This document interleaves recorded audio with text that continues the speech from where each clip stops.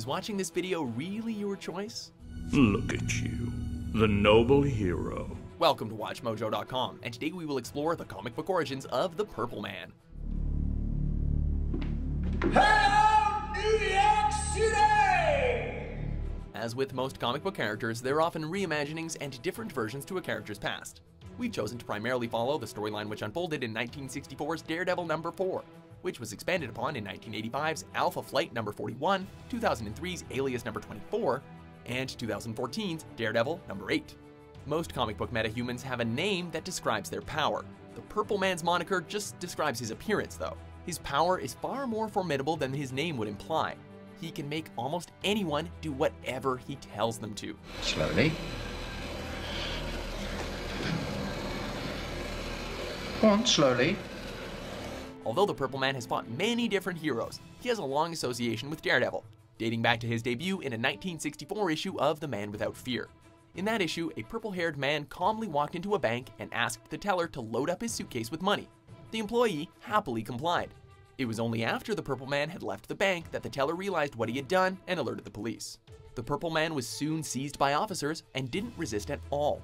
Matt Murdock, who in costume was known as Daredevil, was appointed as his attorney.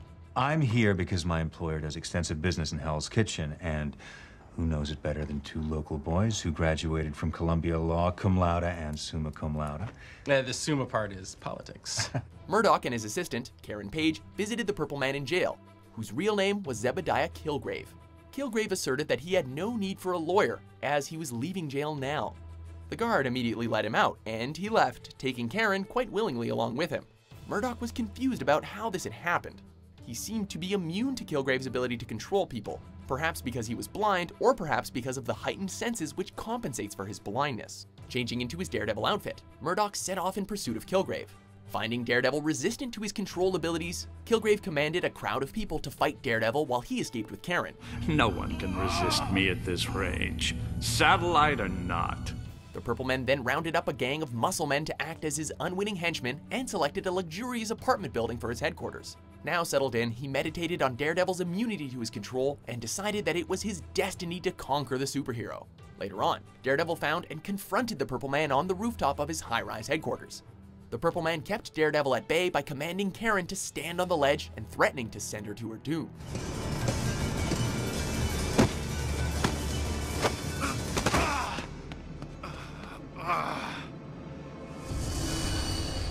Killgrave then took this opportunity to reveal how he came by his special abilities.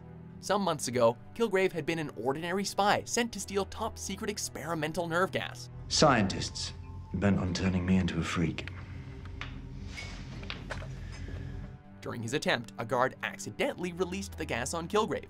The gas turned him purple and somehow altered his body chemistry so that he now had the ability to make people do what he told them to. Isn't that a shitty thing to do? Say it. Yes, it is. Daredevil had been recording all that Killgrave said, and now he had the evidence with which he could convict the villain of treason. He then jumped off the roof, taking Karen with him. When the Purple Man followed him and tried to rile the crowd against him, Daredevil covered him with sheeting so that his control power was muted. The Purple Man's origin was later expanded upon in Marvel Max's 2003's Alias. Killgrave was an especially disturbing foe for the heroine known as Jessica Jones, forcing her to be his bodyguard and sexual slave for months. Hair, the skin. Appalling sense of fashion, but that can be remedied. And underneath it, all the power. Just like me. In this run, we also learn how his powers really work.